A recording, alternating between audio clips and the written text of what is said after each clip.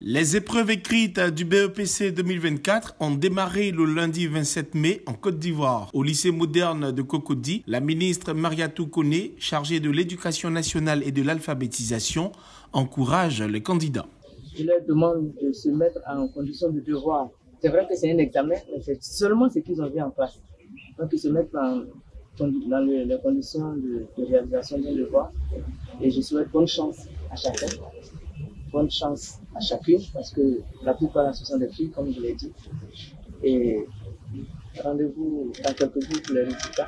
Après le lycée moderne de Cocody, cap sur le lycée Sainte-Marie où Maria Toukoné visite le centre multimédia de surveillance des centres de composition. Grâce aux nouvelles technologies installées, le dispositif permet une surveillance en temps réel des centres d'examen, assurant ainsi la transparence et l'intégrité des épreuves. Cette initiative s'inscrit dans une démarche de modernisation et de sécurisation des processus éducatifs en réponse aux défis de fraude et d'irrégularité souvent rencontrés lors des examens. Euh, nous avons la vidéosurveillance au sein du ministère de l'Éducation nationale de l'alphabétisation et nous travaillons en collaboration avec d'autres ministères, dont le ministère de l'Intérieur à travers la DITP.